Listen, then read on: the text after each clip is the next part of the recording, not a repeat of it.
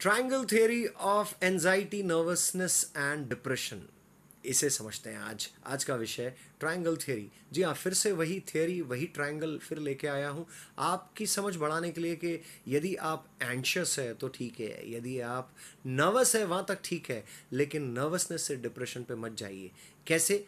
तो आइए इस triangle theory of anxiety nervousness and depression को समझने से पहले एक कॉन्सेप्ट समझते हैं जो इसको उजागर करता है। वो है स्ट्रेस बहुत बार आपने देखा होगा, सुना होगा, आपके परिवार में खुद ऑफ़िस जाते हैं बिज़नेस करते हैं, वो स्ट्रेस्ड आउट होते हैं। अपने काम के विषय में या घर पे भी बहुत बार काम बढ़ जाता है तो आप आपके मम्मी या आपकी बहन या आपकी वाइफ ये अक्सर कहते नज़र आती कि आज बहुत स्ट्रेस हो गए वर्क टप हो गए कूप टप हो गए। ये और कुछ नहीं है स्ट्रेस है। तो स्ट्रेस का निवारण हो सकता है। कॉन्शियसली आपने स्ट्रेस को आपने मेडिटेट कर लिया योगा कर लिया डांस कर लिया म्यूज़िक सुन लिया, ऐसे बहुत सारी चीज़ है जिसका निवारण है। जिसका निवारण है वो रिस्पॉन्स कहलाता है। इसलिए स्ट्रेस एक ऐसा फैक्टर है जो रिस्पॉन्सिव नेचर का कहलाता है। लेकिन स्ट्रेस अगर रिस्पॉन्सिव है तो एनजाइटी नहीं है। एनजाइटी मान लीजिए कि हम लोग नेचुरल सेल्फ बीइंग जैसे भी हैं, हम बहुत यूनिक इसलिए कहलाते हैं क्योंकि हम अलग हैं। हम अलग कैसे हैं? या तो हम हाइट में ज़्यादा है, या कम है, या डार्क स्किन है, या फिर फेयर स्किन है, या हमारी चेहरे की टेक्सचर अलग अलग है। हम चश्मा पहनते हैं, हमारे बाल की बनावट और उसके टेक्सचर अलग है, हमारी कद काठी अलग है, ये नेचुरल सेल्फ बींग है। ये हमें अपने आप आईने में देख कर ये समझ में आता है। तो यदि हम इसके बारे में सचेत हैं, उजागर है तो हमें इससे कोई प्रॉब्लम नहीं है। लेकिन बाहर वाला यदि इसे ऑब्ज़र्व करता है और यदि हमने इसे मन में बाँध लिया एक सोच है, ये एक फ़िज़िकल कंपोनेंट है। फ़िज़िकल कंपोनेंट को यदि हमने बहुत सीरियसली ले लिया तो ये इमोशनल कंपोनेंट बन जाता है, जिसे हम नर्वसनेस के रूप में पहचानते हैं।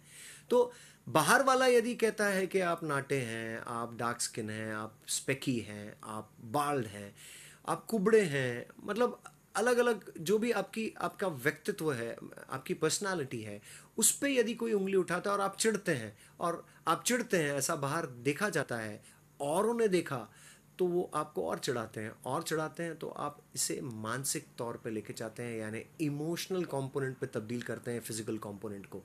वो नर्वसनेस कहलाता है। मेरे ख्याल से वो यदि आप कंट्रोल कर पाए इमोशनल कंपोनेंट को अंदर ना ले और आप खुद के बारे में ये समझ जाए कि आप में अगर ये है, दस चीज़ें अगर आप में हैं और कुछ चीज़ें आप में अगर नेचुरली ऐसी है तो आपको एक्सेप्ट करना पड़ेगा कि ये है और इसका आप कुछ नहीं कर सकते। जो अच्छी चीज़ है, उस पर फोकस कीजिएगा। लेकिन आप जागरूक है और खुद पर हंस सकते हैं। मान लीजिए अगर आप डार्क स्किन है या स्पेकी है तो क्या फ़र्क पड़ता है? हंस लीजिए अपने आप पर। हंस लेंगे तो लोग आप पे हंसना बंद कर देंगे। आप साइकी पे आ गया तो आप इससे डिस्टर्ब होंगे होंगे। तो डिस्टर्ब ना होइए। और यदि डिस्टर्ब हो रहे हैं तो इसे आप व्यवहार पे मत लाइए। अगर आप व्यवहार पे लेके आते हैं तो डेफिनेटली आप डिप्रेशन की तरफ़ जा रहे हैं। एक फ़िज़िकल कंपोनेंट जो इमोशनल कंपोनेंट पे तब्दील होता है, और वो बिहेवियर कंपोनेंट पे आता है तो वो डिप्रेशन कहलाता है।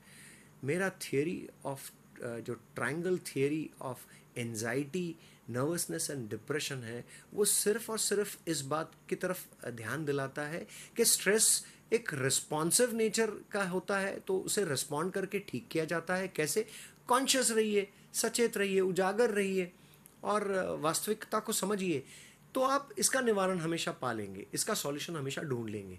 लेकिन यदि आप फ़िज़िकल कंपोनेंट को इमोशनल कंपोनेंट बनाते हैं और उसे आप बिहेवियर में लाते हैं तो आप डिप्रेसिव कहलाएँगे, जो मैं चाहता हूँ कि आप बहुत आसानी से टाल सकते हैं।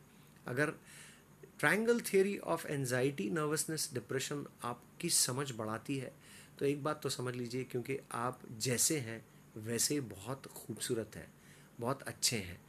आप जैसा और कोई नहीं है। जो आपकी खूबी है, उस पर ध्यान दीजिए और उसको फोकस करके आगे बढ़िए। अटक मत जाइए। उम्मीद करता हूँ कि मेरी ये थियरी आपको पसंद आई होगी। और यदि ये पसंद आई है तो इसे तमाम उन लोगों के साथ बांटिए जो आज के दौर पर कोविड नाइन्टीन का सिचुएशन है लॉकडाउन की स्थिति है अनलॉक हो रहा है, फिर से हम लॉकडाउन की तरफ़ जा रहे हैं कर्फ्यू जैसे बड़े बड़े शब्द आ रहे हैं। इसमें आप समझ लीजिए कि आपकी खूबसूरती आपके अंदर है। दूसरों की नज़रिए से मत देखिए। फ़िज़िकल कंपोनेंट को मेंटल कंपोनेंट या फिर साइकी इमोशनल कंपोनेंट पे मत लीजिए। डिप्रेशन बिल्कुल मत लीजिए। क्योंकि जैसा ये समय अच्छा समय नहीं रहता है, वैसे ये समय भी नहीं रहेगा और एक समय ऐसा भी आएगा जब हम और आप खुश रहेंगे और इस जीवन को बड़े अच्छे ढंग से जी रहे होंगे। यदि आपको मेरी ये triangle theory of anxiety nervousness और डिप्रेशन समझ में आई? तो कृपया तमाम लोग, लोगों तक ये बात पहुँचाए और उन्हें मदद कीजिए समझने में, ताकि कम से कम लोग डिप्रेशन का शिकार हो। धन्यवाद।